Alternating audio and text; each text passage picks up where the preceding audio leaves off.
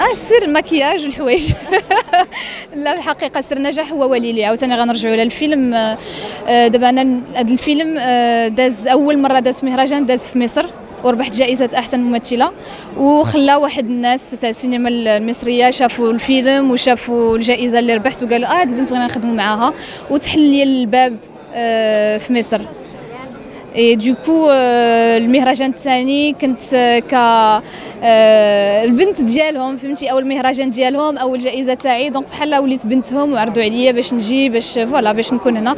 والسر السر كما قلت لك سر المكياج والحوايج كيف دايرة العلاقة ديالك بالممثلين المصريين وبأحمد عز؟ واش مازال في تواصل معاه؟ oui باقيين في التواصل. آه، حيت هو سيد آه، آه، زعما فنان اولا فنان مجتهد وأنا كيعجبوني الناس المجتهدين وإنسان لطيف ومحترم ومحترم.